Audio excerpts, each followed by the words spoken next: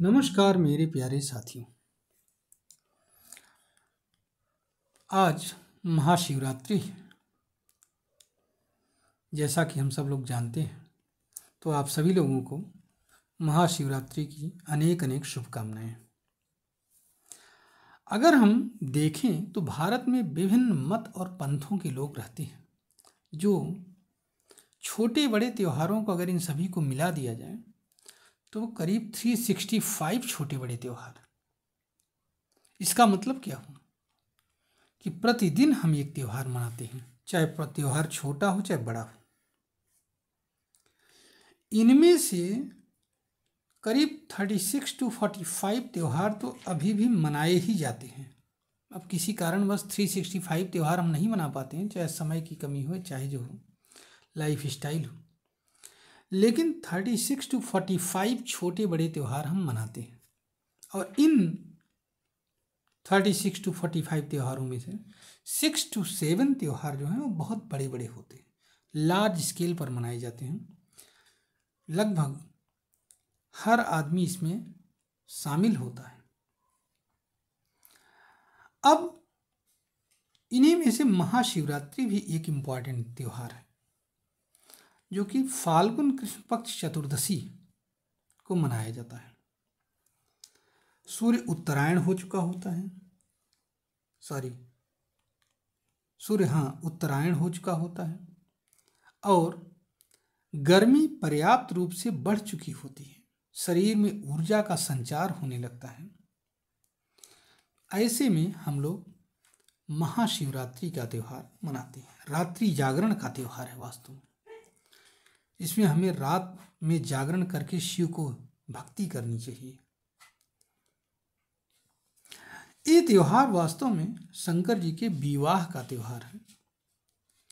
शंकर जी का पार्वती के साथ जो दूसरा विवाह हुआ था, हिमाचल की पुत्री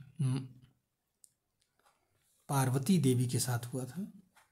और आज ही के दिन ये त्यौहार विवाह संपन्न हुआ था। ऐसा माना जाता है शंकर जी का प्राकट्य भी आज ही के दिन हुआ था। प्राकट्योत्सव भी है। और एक किवदंती ये भी कहती है कि गरल का पान, जो समुद्र मंथन से विष निकला था, उसका भी पान आज ही के दिन किया था शंकर जी ने। लेकिन सबसे प्रसिद्ध किवदंती यही है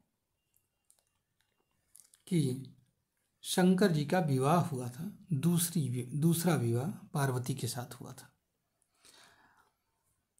अगर हम इस विषय पर विचार करें तो शंकर जी एक सार्वभौम देवता है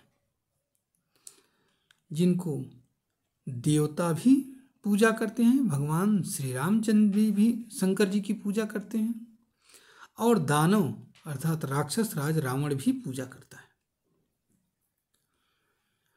और शंकर जी बहुत जल्दी प्रसन्न भी होते हैं औढ़र दानी कहे जाते हैं। अगर शादी समारोह के विषय में आप लोग पढ़ें, जैसा कि विभिन्न किताबों में लिखा गया है, ग्रंथों में वर्णन है तो उसमें भूत प्रेत भी थे और देवता भी थे उस समारोह में। इसका मतलब शिव जो हैं, कल्याणकारी हैं और सभी के लिए कल्याणकारी हैं। भूत प्रेतों के लिए भी दानवों के लिए भी, देवताओं के लिए भी और मनुष्यों के लिए भी। कल्याणकारी, सभी के लिए कल्याणकारी। और यही शिव का कल्याणकारी स्वरूप एकत्व तो स्थापित करता है धरा पर। सभी को मिलाने का काम करता है। संभवतः विपरीत परिस्थितियों में को जोड़ने का काम शिव तत्व ही करता है, जिससे मनुष्य के अंदर ऊर्जा का संचार होता है।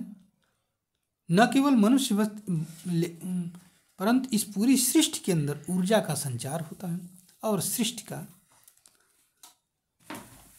कार्यक्रम चलता है। इस शिवत्व के अभाव में कुछ भी संभव नहीं है। अगर शिवत्व खत्म हो जाए तो कुछ भी चीज़ संभव नहीं है।